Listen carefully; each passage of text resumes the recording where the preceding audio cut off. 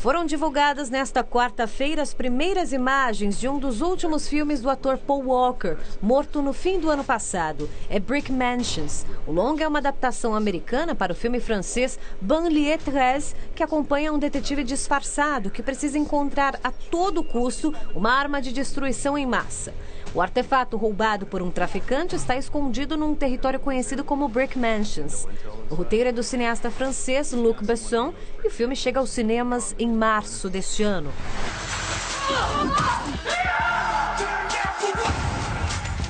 Tropa de Elite, sucesso do cineasta José Padilha, rendeu uma paródia que brinca com outros filmes nacionais, como Se Eu Fosse Você e Nosso Lar.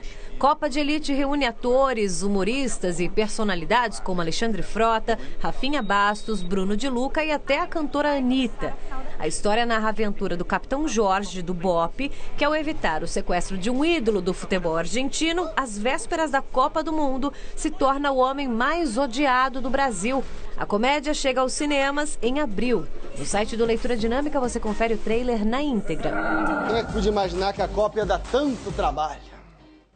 Todo mundo, senhor.